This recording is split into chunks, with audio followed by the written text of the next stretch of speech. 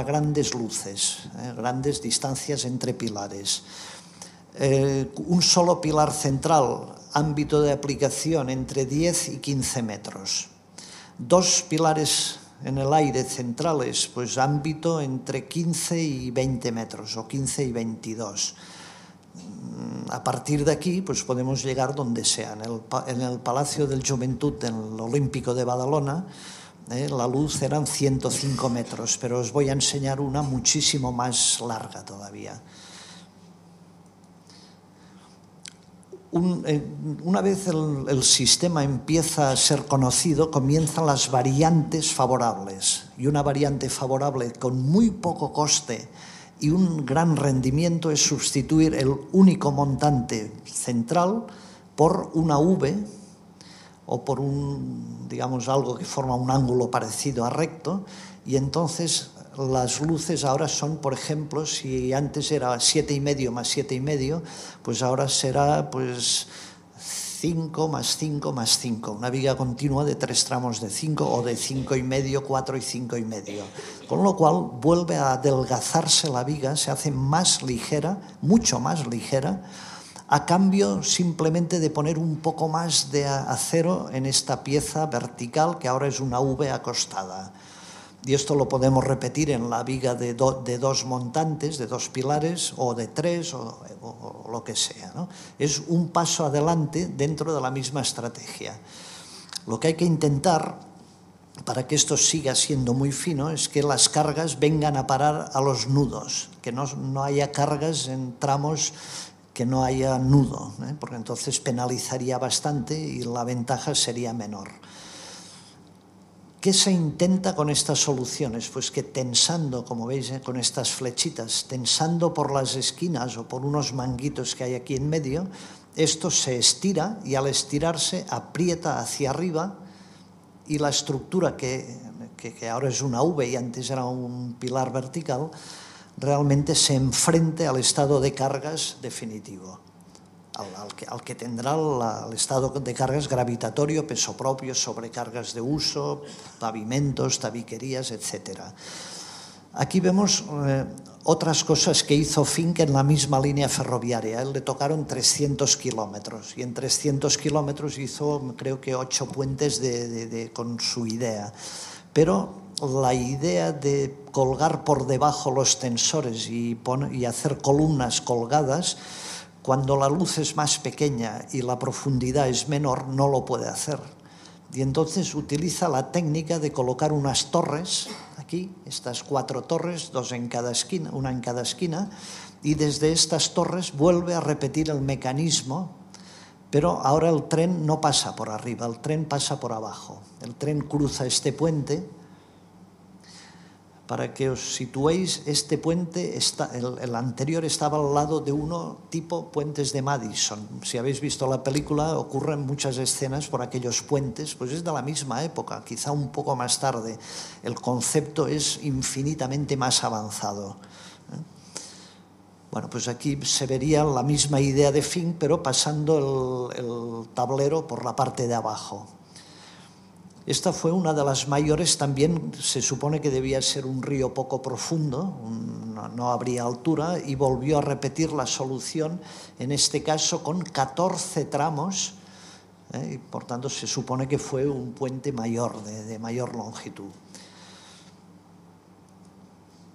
En cada recuadro, veamos por ejemplo este de aquí, el primer recuadro, que es este, hay una barra del sistema, en este caso sería del cuaternario, que es este pequeño de aquí, otra del terciario, otra del secundario y otra del primario, que es esta. Pues bien, en cada recuadro hay estas barras.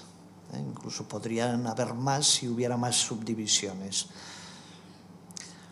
En 8 o 10 años después de Fink sí que hubo quien siguió la línea de Fink y creo que más atrevido que Fink, que fue un tal Bollman. La, la viga Bollman es lo mismo que Fink, el tren puede pasar por arriba o por debajo y lo que hizo Bollman es identificar también columnas en el aire sujetas por tensores, pero con otro criterio. La primaria es la misma, es esta Pero la secundaria, en lugar de, dividirse en los tramos menores, lo que hace es que desde la, esquina lanza un cable ah, debajo de cada punta inferior de, cada columna. ¿eh? Y esto lo hace desde los dos lados. Es decir, que una columna siempre tiene dos tensores que vienen desde los dos extremos, no como antes desde puntos intermedios. O sea que es más, yo creo que es más inteligente este, pero eh, el mérito es menor porque este se basa en el otro. O sea, quien realmente inventó fue el otro. Este se limitó pues a mejorar el mecanismo y construyó cosas tan bueno, aquí vemos un poco lo mismo. Cuando la profundidad era menor, tenía que hacer pasar el tren por abajo, por el tablero inferior, y la estructura, no obstante, es prácticamente la misma. Pues son cosas tan bonitas como estos puentes, ¿eh? es de una elegancia enorme. Esto fue en 1869, el puente de Fink es 1856, más o menos. Bueno, pues esta gente, los constructores de ferrocarriles, eh, eran realmente auténticos pioneros, gente audaz, gente con una inteligencia estructural grande. Eh, muchos eran europeos, creo que Bollman también. Bueno, pues una evolución que se, se anunciaba en, en, todas estas estructuras de finques y qué pasa si prescindimos de la viga primaria y hacemos que todos sean vigas terciarias eh, de este tipo. O sea que no hay unas vigas que pasen desde aquí hasta el punto central. Eh, y esto recuerdo haberlo visto en algún libro de estructuras y no me lo acababa de creer. O sea, pensaba que no, que esto no funcionaría.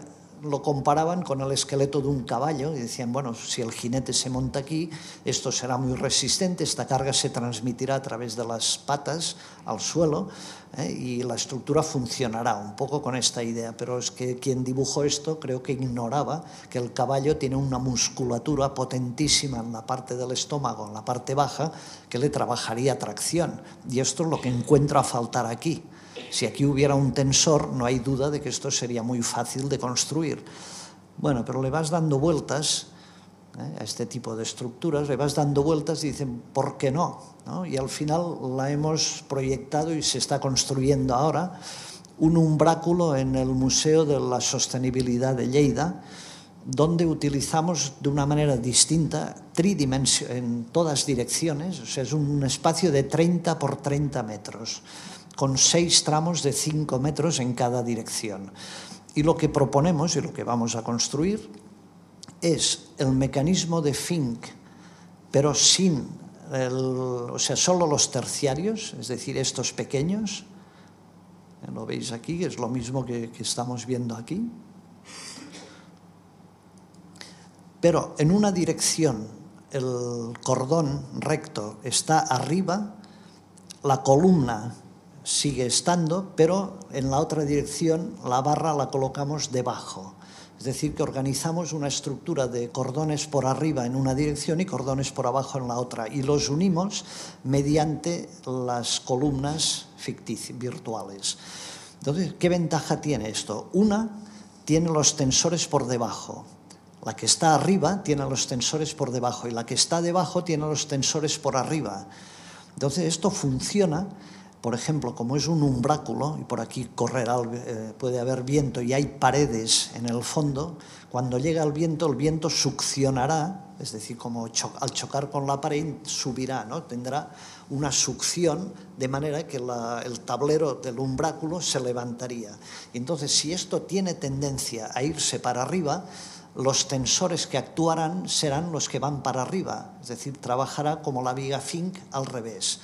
Y justo cuando no hay viento y lo que hay es peso propio, el peso propio de la, vegetación que hay por aquí o de los tableros del material que sea que habrán aquí, pues entonces las que trabajan son los que van por debajo, se tensan los que van por debajo.